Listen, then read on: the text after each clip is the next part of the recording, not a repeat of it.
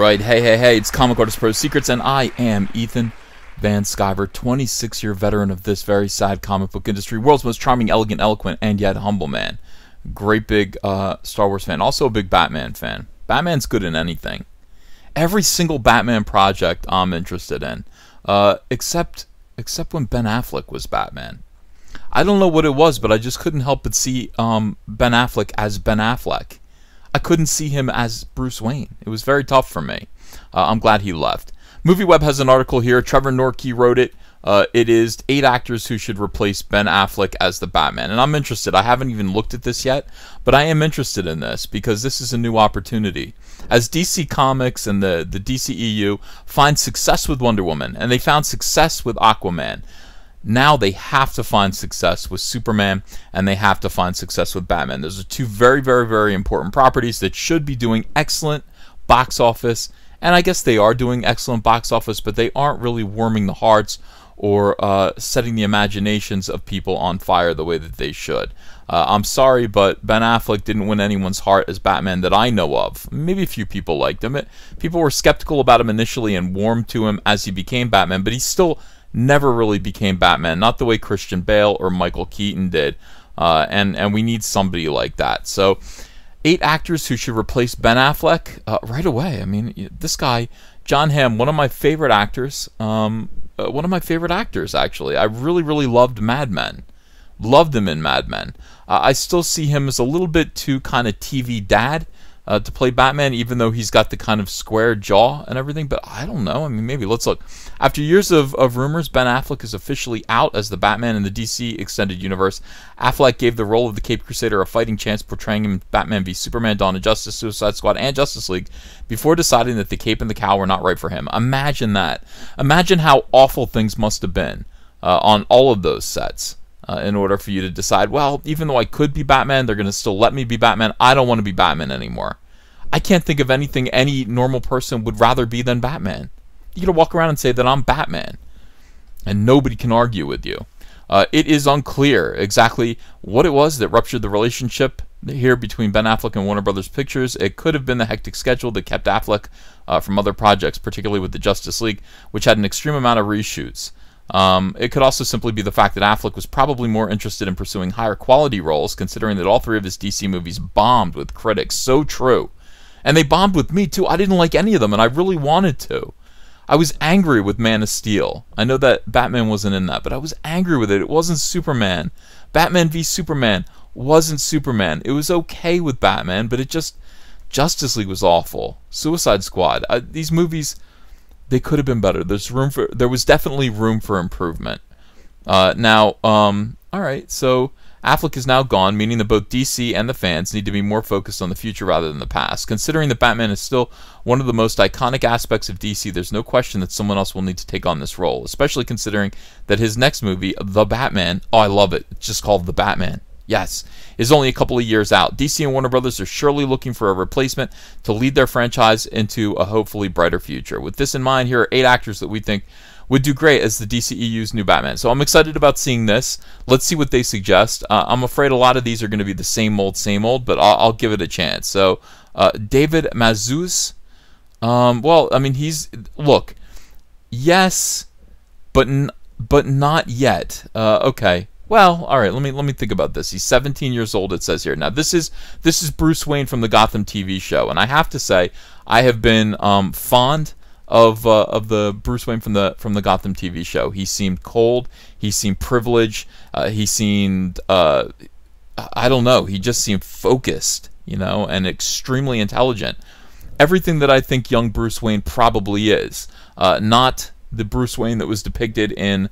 Uh, you know the the Christopher Nolan movies, which although the Christopher Nolan movies are good, that Bruce Wayne, that Bruce Wayne was a pussy. That little boy was a pussy. He fell he fell into a, a cave full of bats and started to cry.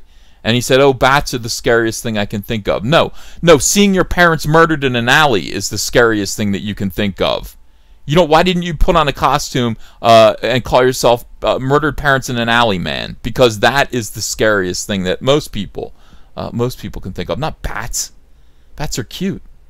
And they're not that cute, but they're, they're kind of cute. Uh, yeah, I think he could do it, but I'm not sure if he's going to do it yet. Although this uh, does kind of make me, uh, I, I want to support this idea. I want to support the idea of these characters, uh, you know, being portrayed by the same person. So you know, on TV, on Gotham, you've got this actor who be, who is always Batman. He's Batman everywhere. Uh, I think that's a great idea. Uh, right here, Chris Chris Hemsworth, Liam Hemsworth. Uh, yeah, yeah, yeah. I mean, again, you know, both of these boys, uh, they look like superheroes. I don't know if he looks like Batman to me. You kind of want to just draw the the cowl on him, right? And see. I mean, yeah, I guess so. Yeah, I guess he could do it. Um, Jeffrey Dean Morgan. Whoa. Uh, I am not sure, but look, he's already been um, Thomas Wayne, the father of Bruce Wayne. Yes, but not in a movie called The Batman. Jeffrey Dean Morgan in The Dark Knight Returns. And why haven't they made a live action version of the Frank Miller classic yet?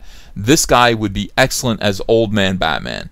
And I don't mean to say that Jeffrey Dean Morgan is an old man. I don't know how old he is, but he, he definitely has the weight and the heft of a, of you know kind of an older version of Bruce Wayne, somebody who's uh, seen a lot more stuff. Uh, the Batman already strikes me as kind of a gothic noir uh, movie about early Batman, kind of like Batman Year One just with the title The Batman in it, I'm immediately thinking about, um, you know, Batman Year One, which this may be, it may not be. Uh, I'm not exactly sure. Let me see. Uh, Jon Hamm, yeah, um, the the choice that everybody's waiting for Jon Hamm to become a superhero. Everyone wants him to be in a superhero movie. Uh, I think he did express interview, uh, or he did exp- express interest. He said it depends on the script, what the story is. I'm a huge comic book fan. I don't know about that, Jon. You can be honest. You were. You read them as a kid. I don't think you read them still. Uh, I've read comic books since I was nine or younger, and I'm pretty knowledgeable about a lot of them. And I like the genre. Uh, I like when they're done well. Uh, Hamm went on to explain that all the talk about him playing Batman was just rumors and speculation. Uh, it would still be great to see him in the role. Yeah, yeah, yeah. I, mm-hmm. I, I don't know. I mean, here's the thing. Like Jon Hamm, I'm not so sure that he looks haunted enough for me. You know, I want Bruce Wayne to look. Uh, he he looks like uh, careless, uh, and and Bruce Wayne can't look careless ever. Bruce Wayne has to look driven and haunted. Uh, I mean, I guess this is the, the the facade that maybe he puts on as Bruce Wayne, like a billionaire playboy who's lazy, uh, you know, doesn't want to do anything. I mean, the initial uh, detective uh, comics number 27, the whole thing about Bruce Wayne was that he was bored. He's like, oh, I'm bored. I'm so bored. And that was the way he disguised being an action packed adventurer, Batman by night. So uh, it'd be interesting to see the boredom angle come back why don't this is the thing that I love about this. I, I, you know go you have an opportunity to go back to the original material and really like mine from the stuff from the 1930s and 40s and not the the campy goofy stuff, but just the original ideas, the nuggets, the inspiration that actually made these characters work the first time. Uh, Darren Criss, uh, no, uh, no, uh, he's from Glee. No, no, thank you. Uh, Tom Cruise, no, I'm going to say no on that as well. Uh, even though Tom Cruise is uh, he's good, he's a good action star. They already kind of teased him as possibly being old man Hal Jordan. I kind of uh, am settled on that. I think that would be okay if they do that.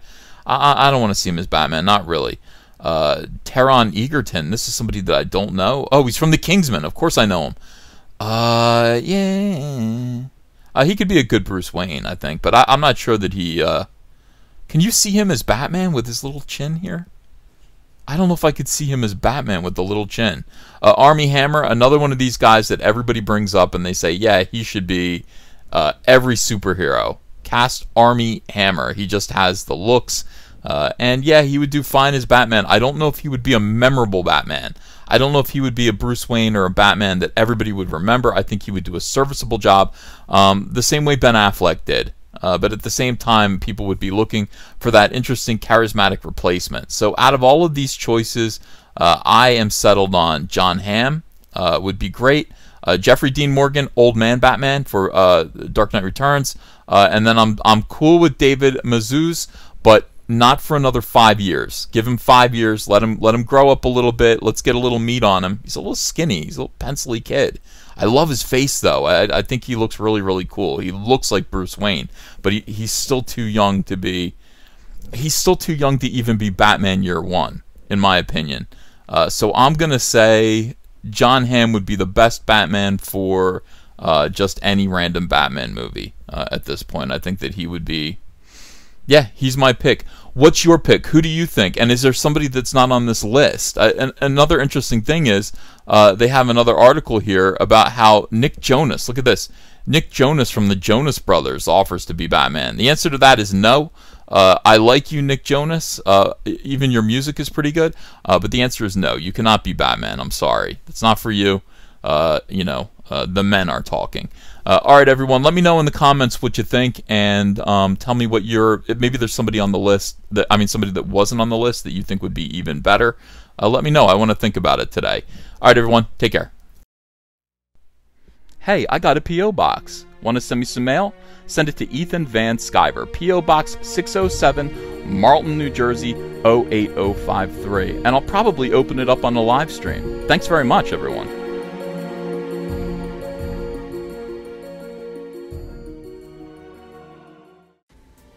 Hey, you want to follow me on Twitter? Are you sure? Well, if so, I'm at Ethan Van Sciver. That's at Ethan Van Sciver. See you there. Show your friends you support independent comics while showing the world who you back in the fight against the swarm with the brand new Cyberfrog t-shirt from Crypto Fashion and Comic Artist Pro Secret. Sizes come in small to 5XL, and take your choice of colors between navy blue, white, and black. And if you haven't yet, go ahead and order the Fandom Menace, Go Get Daddy's Belt, Tico, and Soilo t-shirts as well. Link is below in the description. You're gonna look great. People love these shirts. They fit wonderfully. Thank you very much. If you enjoyed this video and want to become part of this community, subscribe to this channel by clicking the Laughing Man face logo right on your screen. Ring the bell for notifications as well. You'll never miss a live chat. And stay tuned, another video by Comic Artist Pro Secrets is coming right up.